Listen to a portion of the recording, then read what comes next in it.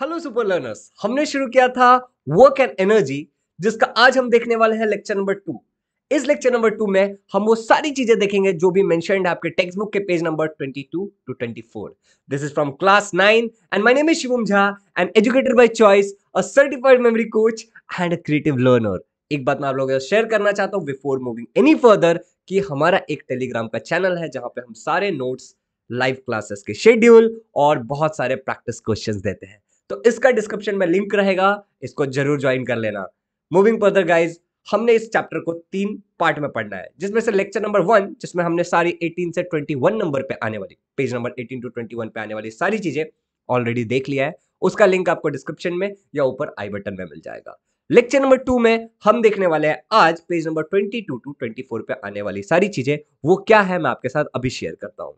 And lecture number three जो finally आएगा, उसमें हम 25 टू 28 पे आने वाली सारी चीज़ें देखेंगे including all the numericals guys numericals वैसे हम हर एक टॉपिक को खत्म करने के बाद इमीडिएटली भी ले रहे हैं। तो आप देख सकते हो। इस चैप्टर में हम पढ़ने वाले हैं इस लेक्चर के अंदर एनर्जी के बारे में टाइप्स ऑफ़ एनर्जी के बारे में, जो कि होता है काइनेटिक एनर्जी एंड एक और होता है आपका पोटेंशियल एनर्जी तो हम इन टॉपिक्स के बारे में इस पर्टिकुलर लेक्चर में पढ़ने वाले हैं।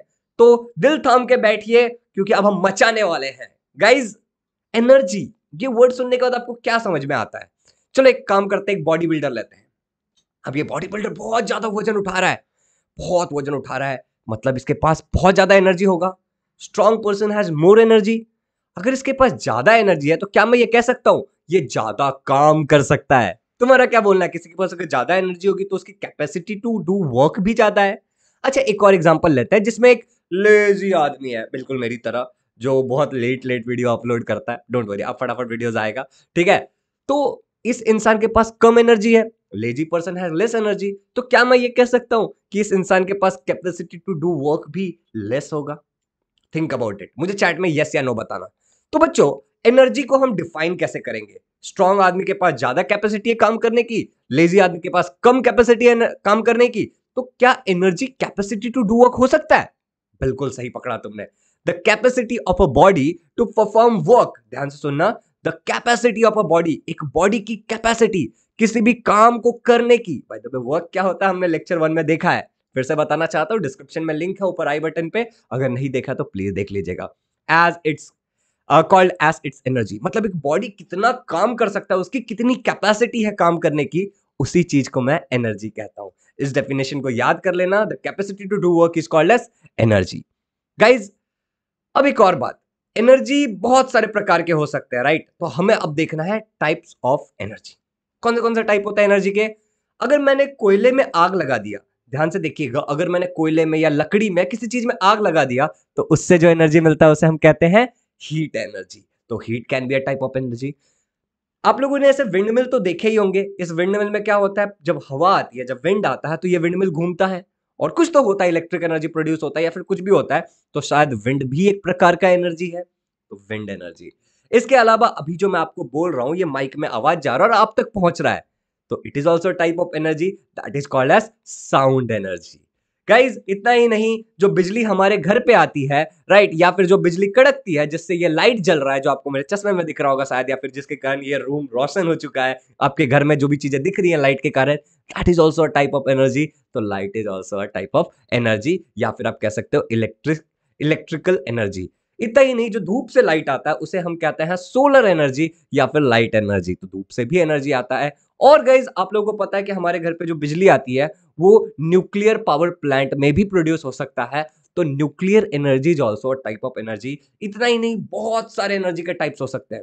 जी हाँ एनर्जी के बहुत सारे टाइप हो सकते हैं। अभी हमने कुछ एग्ज़ाम्पल देखा, उदाहरण के लिए हीट एनर्जी फिर हमने देखा विंड एनर्जी फिर हमने देखा साउंड एनर्जी फिर हमने देखा electrical energy light energy and हमने एक और देखा था न्यूक्लियर एनर्जी ये कुछ एग्ज़ाम्पल है, और भी एनर्जी हो सकते हैं। जैसे कि, बताओ, सोचो मस्क्यूलर एनर्जी हो सकता है राइट ग्रेविटेशनल एनर्जी हो सकता है, और कौन सा हो सकता है? भाई मैकेनिकल एनर्जी भी तो हो सकता है, जिसे हम इस चैप्टर में पढ़ने वाले हैं। तो एनर्जी के बहुत सारे टाइप्स हो सकते हैं। मूविंग फर्दर बच्चों, एक सवाल है, जिसका जवाब अब कमेंट में बताना। Dash is the capacity to do work wow this is a good question energy force power momentum क्या है वो चीज़ जिससे हम काम कर सकते हैं? कमेंट्स में ज़रूर बताना, मुझे पता चलेगा कितने बच्चे सीरियस है पढ़ाई को लेकर के। चलिए, अब आगे बढ़ते हैं।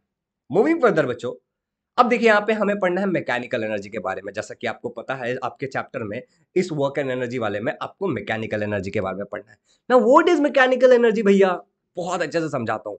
पहले इसके टाइप्स को समझते हैं। मैकेनिकल एनर्जी दो प्रकार के हो सकते हैं। कौन से कौन से दो प्रकार? सबसे पहला वाला होता है आपका, ध्यान से देखिए यहाँ पे कौन सा आया? Yes potential energy and second वाला होता है आपका काइनेटिक एनर्जी तो जो दो एनर्जी के टाइप्स के बारे में हम पढ़ने वाले हैं potential energy and kinetic energy अब आप सोच रहे हो भैया, आपने तो अभी इतने सारे एनर्जी का टाइप बताया, लेकिन ये सिंपल वाले क्यों नहीं बताया पोटेंशियल एंड काइनेटिक क्योंकि इसको हम और डिटेल में पढ़ने वाले हैं इस चैप्टर में। अब समझते हैं काइनेटिक एनर्जी को पहले। तो काइनेटिक एनर्जी मतलब क्या होता है? कुछ एग्ज़ाम्पल लेंगे और उससे समझेंगे। सबसे पहले इस काइनेटिक वर्ड का मतलब आप समझ लीजिए। काइनेटिक वर्ड का मतलब होता है मोशन भैया, जो लेक्चर नंबर वन में चैप्टर नंबर वन में पढ़ा था, जी हाँ मोशन मूवमेंट राइट? तो काइनेटिक का मतलब क्या होता है? मोशन। तो मोशन के कारण जो एनर्जी होगा, उसको हम कहेंगे काइनेटिक एनर्जी। आसान लग रहा है सुनने में? चलिए कुछ उदाहरण लेते हैं। बच्चों, ये एक हैमर है, जो कि रुका हुआ है। The hammer is at rest. अब एक सवाल है मेरा कि is work done by hammer at rest? अगर एक हैमर रेस्ट पे है, खैर, काइनेटिक का मतलब था मोशन वाली एनर्जी तो क्या ये कोई वर्क डन कर रहा है?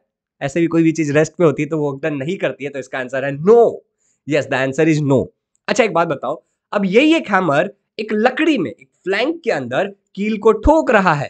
क्या अब ये वर्क डन कर रहा है? क्या ना मूविंग हैमर डू वर्क सोचो, कील अंदर जा रहा है, उसका डिस्प्लेसमेंट हो रहा है मतलब यस ये वर्क कर सकता है। तो मैं क्या कहता हूँ कि moving hammer has the capacity to do work moving hammer के पास एक कैपेसिटी है, जो उस हैमर के पास नहीं थी, जो रेस्ट पे था। तो moving hammer has a capacity to do work और इसी कैपेसिटी टू डू वर्क को मैं क्या कहूँगा? Moving hammer has energy and that energy is called as kinetic energy तो moving hammer has a capacity to do work और क्योंकि वो मूव कर रहा है मोशन में है और तब वर्क डन कर रहा है तो कौन सी एनर्जी यूज़ कर रहा है? काइनेटिक एनर्जी तो बच्चों, इससे मुझे समझ में आता है, जब भी कोई भी चीज़ मोशन में होती है लाइक like मेरा हाथ अभी मोशन में है तो इसके पास क्या है? काइनेटिक एनर्जी है. लेट्स मूव फर्दर एक और एग्जांपल लेते हैं, लेकिन उससे पहले काइनेटिक एनर्जी को डिफाइन करते हैं। The energy which an object has because of its motion energy जो एक ऑब्जेक्ट के पास होता है, उसके मोशन के कारण, उसके मूवमेंट के कारण, जैसे यहाँ पे है that is called as kinetic energy एकदम आसान है, एकदम सिंपल है लेट्स मूव फर्दर बच्चों, मेरे पास एक कार है, ठीक है? और ये कार नहीं है तो हाहाकार है, और ये कार मूव कर रहा है। तो मुझे बताना, इसके पास कौन सी एनर्जी है? जी हाँ आपने एकदम सही पकड़ा। दैट इज़ काइनेटिक एनर्जी इसके पास कौन सी एनर्जी है बच्चों? काइनेटिक एनर्जी तो अब आपको काफ़ी चीज़ें समझ आने लगी होगी। तो moving car possesses kinetic energy एकदम सिंपल एकदम सटीक. डिस्क्रिप्शन में बता आई मीन डिस्क्रिप्शन ओ, शुभम सैया, क्या कर रहे हो आप? सुनो, आपको कमेंट्स में बताना है कि आपको समझ आता है या नहीं मेरा लेक्चर क्या आपको सिंपल लगता है या नहीं लगता है? हाँ दूसरों तक भी शेयर करना, क्योंकि ऐसे कमाल के कंटेंट लोगों तक जाने चाहिए और हमारे नाइन्थ के बच्चों को भी तो पढ़ना है। लोग टेंथ के बारे में सोच रहे, ट्वेल्थ के बारे में सोच रहे, नाइन्थ का क्या? बेसिक क्लियर नहीं रहेगा तो टेंथ, ट्वेल्थ क्या समझ आएगा? ओके तो सभी तक शेयर ज़रूर करना।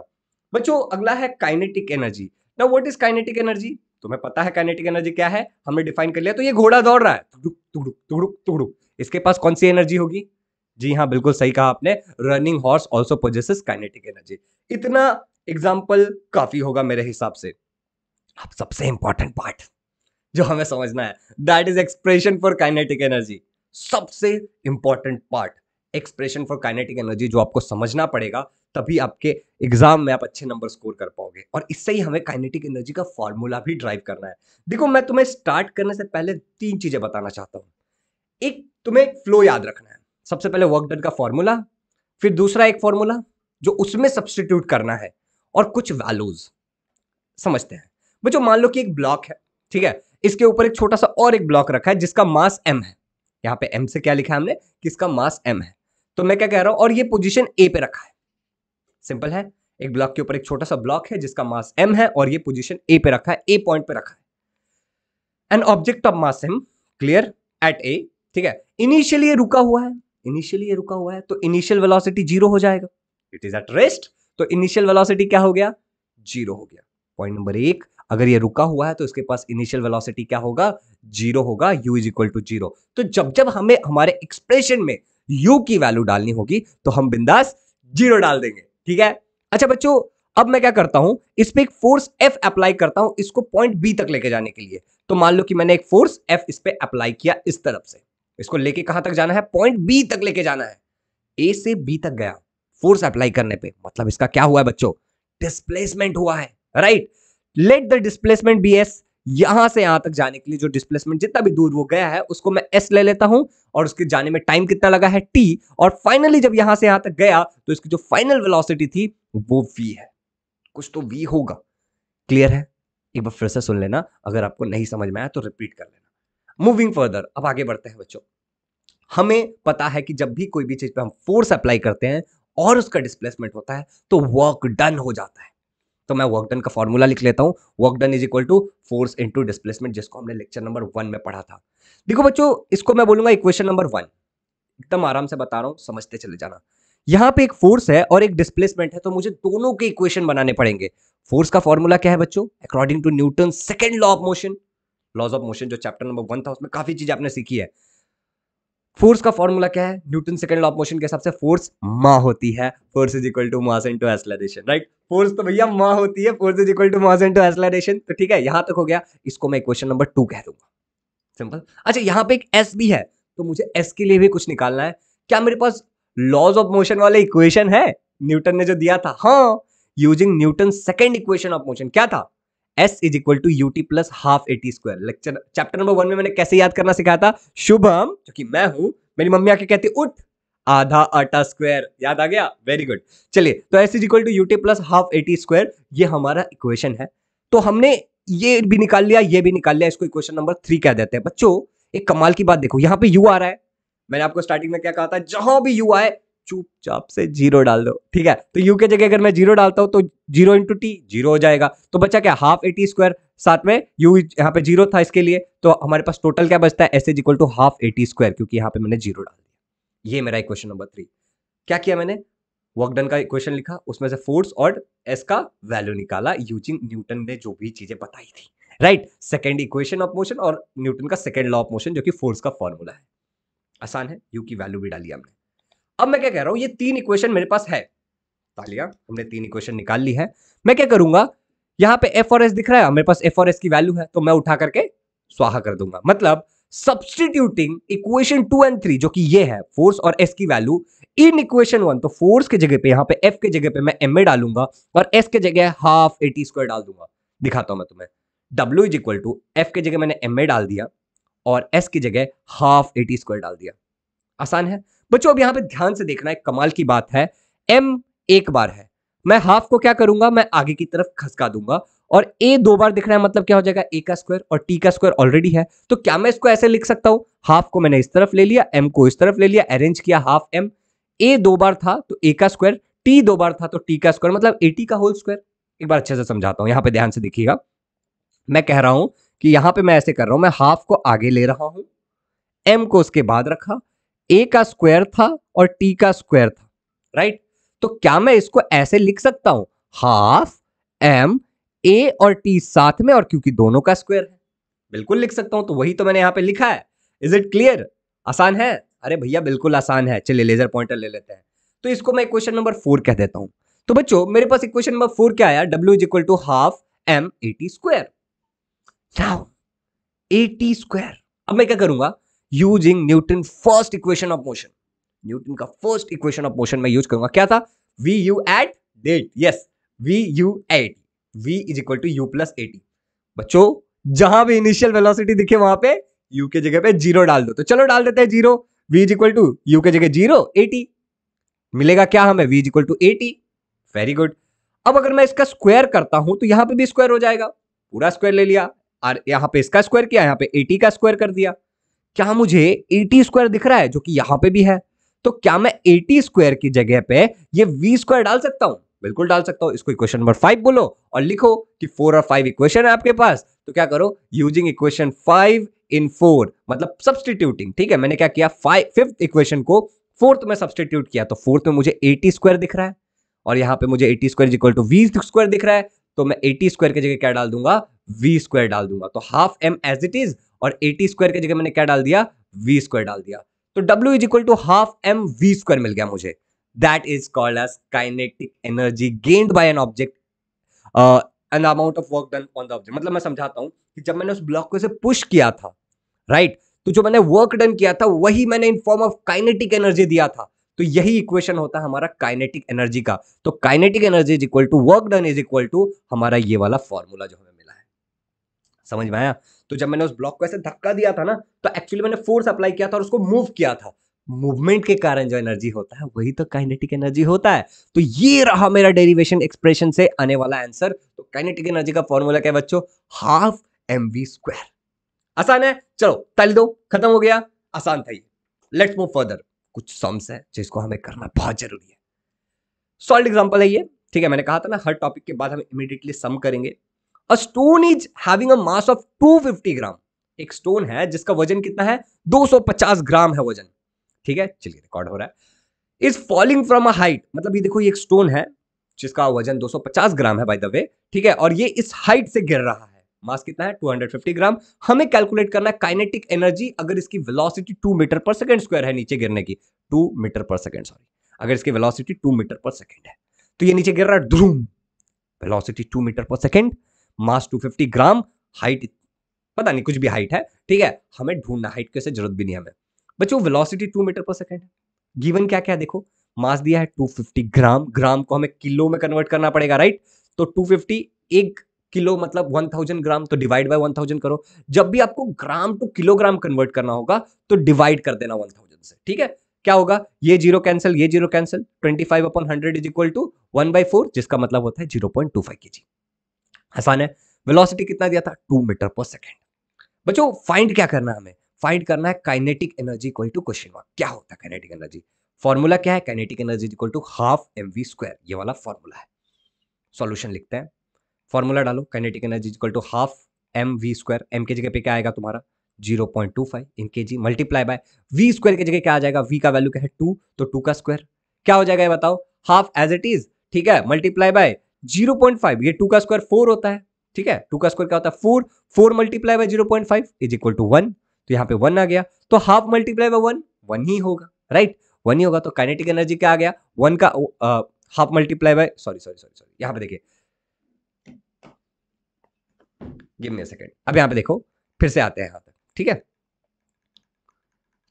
सॉल्यूशन लिखते हैं। सॉल्यूशन क्या है बच्चों? Kinetic energy is equal to half ठीक है? फॉर्मूला में एम की जगह पे क्या डालना है? मास डालना है। कितना है जो कि? 0.25 डाल दिया। मल्टीप्लाई बाई यहाँ पे क्या है? वी स्क्वायर तो वी की वैल्यू कितनी है? टू तो टू का स्क्वायर कितना हो जाएगा? फोर हो जाएगा.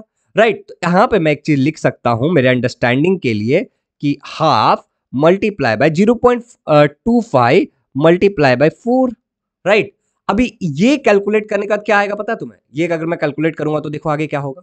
यहाँ पे kinetic energy is equal to half as it is और इसका आंसर आएगा तुम्हारा one one multiply by half is equal to half it half का मतलब क्या होता है? Zero point five, right? तो ज़ीरो पॉइंट फाइव जूल है तुम्हारा काइनेटिक एनर्जी आसान है। एक और एग्जांपल देख लेते हैं जो कि एक्सरसाइज में लिखा था। The velocity of a car increases from 54 kilometre per hour हमें सेकंड में चाहिए होगा, ठीक है? याद रखना, ऐसा यूनिट तो 54 kilometre per hour to 72 kilometre per hour एक कार है जिसकी स्पीड 52 किलोमीटर से 72 किलोमीटर तक बढ़ती है। मतलब स्पीड पहले 52 किलोमीटर था, आगे आगे जाते जाते उसका स्पीड बढ़ गया। How much is the work done if the mass of the car is 1500 KG mass भी बताया है 1500 केजी गिवन क्या है बच्चों? मास 1500 केजी बच्चों इनिशियल वेलोसिटी हमें दिया हुआ है 54 किलोमीटर पर आर जब भी किलोमीटर पर आर हो तो उसे हमें मीटर पर सेकेंड में कन्वर्ट करना पड़ेगा। तो देखो 54 एक किलोमीटर में एक हज़ार मीटर होता है। एंड एक घंटे के अंदर 60 इंटू सिक्सटी सेकेंड्स होता है which is equal to thirty six hundred तो हमें इसको इससे मल्टीप्लाई करना पड़ेगा। इस चीज़ को कैलकुलेट करने के बाद आता है फाइव बाई एटीन। तो जब भी आपको किलोमीटर पर आर से मीटर पर सेकेंड में कन्वर्ट करना है तो आपको गिवन वैल्यू को मल्टीप्लाई करना है फाइव बाई एटीन से। The answer is 15 metre per second. Final velocity हमें दिया हुआ है 72 किलोमीटर पर आर। अब अगर 72 किलोमीटर पर आर को अगर मुझे मीटर पर सेकेंड में कन्वर्ट करना कैसे करूँगा? 72 मल्टीप्लाई बाय 5 डिवाइड बाय 18 जी हाँ तो मैंने वो किया एंड मुझे आंसर मिलता है 20 मीटर पर सेकेंड यहाँ तक सभी चीज़ें क्लियर है. अब फाइंड क्या करना हमें? Work done to increase the velocity initial से फाइनल तक बढ़ने के लिए कितना वर्क डन करना पड़ेगा? मतलब कि काइनेटिक एनर्जी में कितना बदलाव आया है? तो मैं क्या कहूँगा? Work done to increase the velocity is equal to change in kinetic energy right तो चेंज इन काइनेटिक एनर्जी कैसे निकालता हूँ मैं? Kinetic energy is equal to half mass तो वही है अभी भी गाड़ी का 1500 केजी लेकिन वेलोसिटी फाइनल से इनिशियल चेंज हो रहा है तो चेंज इन वेलोसिटी कैसे निकालते हैं? Final velocity minus initial velocity यहाँ पे यू स्क्वायर वी स्क्वायर क्यों लिया है? क्योंकि फॉर्मूला में ही है half M V square velocity का स्क्वायर होगा। चलिए वैल्यूज़ डालते हैं फिर। सॉल्यूशन लिखते हैं। Change in kinetic energy is equal to half mass का वैल्यू 1500 फाइनल वेलोसिटी 20 उसका स्क्वायर इनिशियल वेलोसिटी 15 उसका स्क्वायर तो आंसर क्या आएगा? यहाँ पे देखिए half into fifteen hundred seven fifty twenty का स्क्वायर फोर हंड्रेड फिफ्टीन का square two twenty five guys अब अगर मैं सेवन फिफ्टी मल्टीप्लाई बाई अगर four hundred minus two twenty five करूँगा तो वन सेवेंटी फाइव आएगा। And change in kinetic energy का आया? One three one two five zero joule जो कि बहुत ही आसान था और यही आपका जवाब है। आई होप कि यहाँ तक आपको सभी चीज़ें क्लियर हो गई होंगी अबाउट काइनेटिक एनर्जी अब एक सवाल when an object is in motion it is having dash energy kinetic mechanical chemical potential कौन सी एनर्जी है उसके पास? कमेंट करके ज़रूर बताइएगा। Flowing water has dash energy बहते हुए पानी में मोशन में है तो कौन सी एनर्जी होगी? ज़रूर बताइएगा कमेंट्स में। बच्चों, मैं आपके साथ शेयर करना चाहता हूँ कि मैं अन अकेडमी पे भी पढ़ाता हूँ। और यहाँ पे मेरा होने वाला एक free class on introduction to periodic classification of element on 10 July at 5 PM इस क्लास में हम बहुत ही बेहतरीन तरीके से पीरियोडिक क्लासिफिकेशन ऑफ़ एलिमेंट सीखने के लिए जो जो डेटा आना चाहिए, वो सब सीखने वाले हैं। एंड हम काफ़ी सारे क्विजेस करने वाले हैं जिससे हमारा एक प्रैक्टिस हो जाए। Now the session is on 10 July 2021 at 5 PM and हाँ आपको फ्री में आने के लिए इस क्लास में बस डिस्क्रिप्शन में दिए गए लिंक पे क्लिक करना है और कोड यूज़ करना है एस जे सुपर नीचे आपको ब्लिंक होता हुआ कोड दिख रहा होगा। So the link is in the description फटक से आ जाइए इस क्लास में on periodic classification of element मैं एक चीज़ और शेयर करना चाहता हूँ। डिस्क्रिप्शन में एक और लिंक रहेगा जिससे आप सब्सक्रिप्शन भी ले सकते हो मेरे प्लस क्लासेस के लिए, जो कि पेड होता है। एंड उसके लिए भी आपको यही कोड यूज़ करना है। एस जे सुपर एंड आपको देखने को मिलेगा टेन परसेंट का मज़बूत discount so all the best फटक से आ जाओ, उस स्पेशल क्लास में मिलते हैं लाइव सीखते हैं. लेट्स मूव फर्दर बच्चों, अब हम बात करने वाले हैं about potential energy now you must be wondering कि भैया पोटेंशियल एनर्जी क्या होता है? तो पोटेंशियल एनर्जी के बारे में समझते हैं. देखो डेफिनेशन के हिसाब से the energy stored in an object energy जो कि एक ऑब्जेक्ट में स्टोर्ड होता है due to its specific state मतलब वो किस स्टेट में रखा हुआ जैसे ये माइक एक स्पेसिफिक स्टेट में है तो उसके पास जो एनर्जी होगा, वो पोटेंशियल एनर्जी होगा और पोजीशन, जिस पोजीशन में है, राइट right? जैसे कि मान लो एग्जांपल ले लेते हैं कि आपके सामने एक तीर और धनुष दिख रहा है, right, you are saying a bow and arrow अब अगर मुझे इस एरो को फायर करना है तो इस पर्टिकुलर बो को, राइट, अगर एरो को फायर करना है तो इस पर्टिकुलर बो के थ्रेड को मुझे एक पर्टिकुलर पोजीशन या फिर एक पर्टिकुलर स्टेट में लाना पड़ेगा, तभी ये फायर होगा एल्स ये फायर नहीं होगा। तो देखो, ये टारगेट है मेरा, जिसको मुझे हिट करना है। अब मैं क्या करूँगा? When the string of the bow is stretch then it is an specific state अब मैंने इसके स्ट्रिंग को स्ट्रेच किया। अब एक पर्टिकुलर स्टेट में है और जैसे ही मैं इसको छोड़ूँगा, अब ये स्टेट के कारण जो एनर्जी इसके अंदर स्टोर हो गई है, इस स्टेट के कारण जो एनर्जी इसमें स्टोर हो गई है दैट इज़ पोटेंशियल एनर्जी और जैसे ही मैं इसको छोड़ूँगा, ठक करके जाके लग जाएगा। आर यू गेटिंग इट तो वो जो मैंने खींच के जो स्टेट में लाया ना, और उस स्टेट में जो एनर्जी आ गया है उस चीज़ के अंदर दैट इज़ पोटेंशियल एनर्जी तो potential energy is then use by the bow to throw off the arrow तो ये बो क्या करेगा? उस पोटेंशियल एनर्जी को यूज़ करेगा इस एरो को थ्रो करने के लिए। Is it simple moving further बच्चों, जब मैं सीढ़ी पे चढ़ रहा होता हूँ तो मैं अपने आप का स्टेट मेरे पाओ का स्टेट बार बार चेंज कर रहा होता हूँ और मैं ऊपर ऊपर ऊपर ऊपर जा रहा होता हूँ। अब जब मैं एकदम ऊपर पहुँच गया हूँ एट अ सर्टन हाइट तो मेरे पास कुछ एनर्जी आ चुका है। राइट क्योंकि मैं स्टेट पे खड़ा हूँ। अगर अब मैं यहाँ से गिरता हूँ that is due to my potential energy यहाँ पर जब मैं ऊपर खड़ा था तो मेरे पास जो एनर्जी था, उस पोजिशन पे रहने के लिए that was a potential energy the potential energy stored in the man is use to fall down is it clear moving further बच्चों पोटेंशियल एनर्जी को हम डिफाइन ऐसे कर सकते हैं. The energy stored in an object because of its specific state और position is called as potential energy जो energy store होता है एक ऑब्जेक्ट में, उसके स्पेसिफिक स्टेट या फिर उसके पोजीशन के कारण उसी को हम कहते हैं potential energy is it clear चलो एक्सप्रेशन फॉर पोटेंशियल एनर्जी भी निकालते हैं। तो मान लो एक बच्चा है जो कि नीचे है और दूसरा उसका भाई है जो कि ऊपर खड़ा है बिल्डिंग के। वो शक्तिमान आके बचाएगा। इस बिल्डिंग की हाइट एच है, इस बॉल का मास एम है। इस बच्चे ने बॉल को मारा और बॉल गया उसके भाई के पास। बॉल का मास एम था, ये बिल्डिंग हाइट एच की है, और यहाँ पे ग्रेविटेशन भी होगा, जो इस बॉल को नीचे खींच रहा होगा स्मॉल जी चलिए एक्सप्रेशन निकालते हैं। बच्चों वर्क डन जो इस बॉल को ऊपर भेजने के लिए जो वर्क डन था, वो क्या था? Force into displacement force multiply by displacement हमने बॉल पे फोर्स लगाया, और डिस्प्लेसमेंट हो गया, ऊपर तक गया। फोर्स का फॉर्मूला क्या है बच्चों?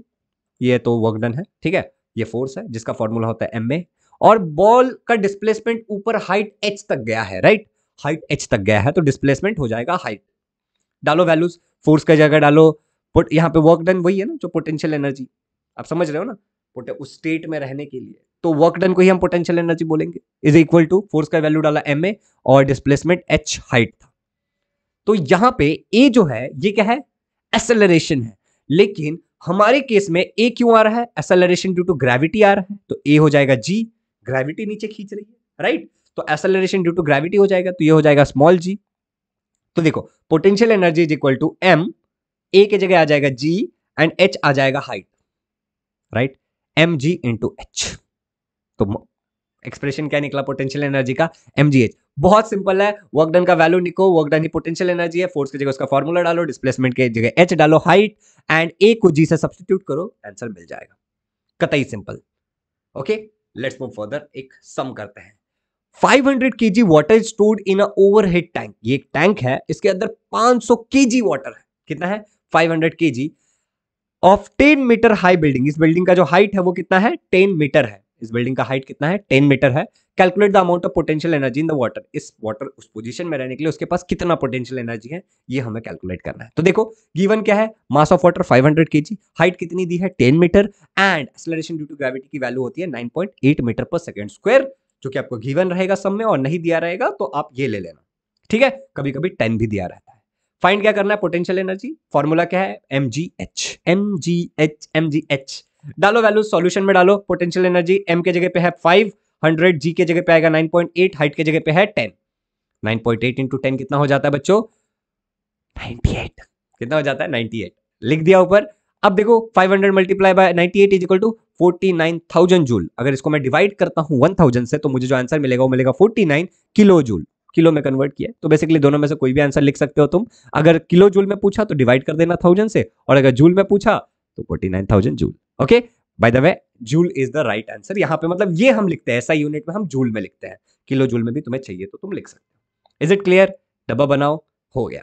बच्चों, एक और समय if the energy of a ball is falling from if the energy of a ball falling from a height of 10 metre एक बॉल है, जो 10 मीटर के हाइट से गिर रहा है, उसका एनर्जी 40 परसेंट से रिड्यूस होता है how long it will rebound बहुत सिंपल सम है, ये आपको मैं सेल्फ प्रैक्टिस के लिए दे रहा हूँ। देखो सॉल्यूशन डाल दिया मैंने, और मैं आपको एक्सप्लेन भी कर देता हूँ क्या है। इनिशियल वेलोसिटी कितना था? इनिशियल हाइट कितना था? Ten metre right ten metre की बिल्डिंग से गिर रहा है ना?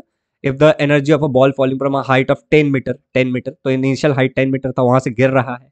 अच्छा let the initial potential energy hundred percent potential energy था उसके पास पहले, जब वो गिर रहा था तो। ठीक है, जैसे यहाँ पे मैं समझा देता हूँ, फिर तुम्हें ही करना है सब मान लो एक ये टेन मीटर का हाइट है और यहाँ से एक बॉल गिरने वाला है तो इसके पास इनिशियली जब यहाँ पे होल्डेड था तो इसके पास जो पोटेंशियल एनर्जी रहा होगा वो हंड्रेड परसेंट रहा होगा।